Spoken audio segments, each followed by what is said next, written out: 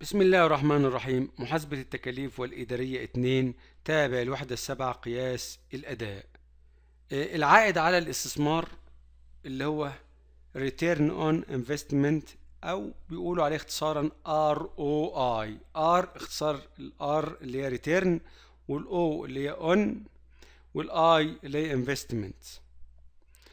العائد على الاستثمار بيساوي صافي الدخل أو صافي الربح مقسوم على رأس المال المستثمر كل ده مضروب في 100 طب العائد على الاستثمار ده باللغة الإنجليزية اتكتب إزاي؟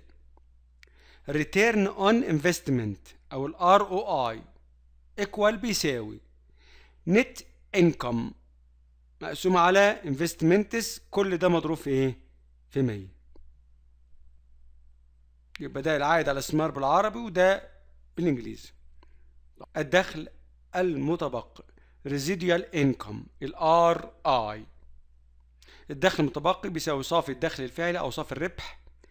ناقص افتح قوس رأس المال المستثمر مضروب في معدل العائد المطلوب على رأس المال المستثمر. بالإنجليزي residual income اللي هي ال RI بيساوي النت income.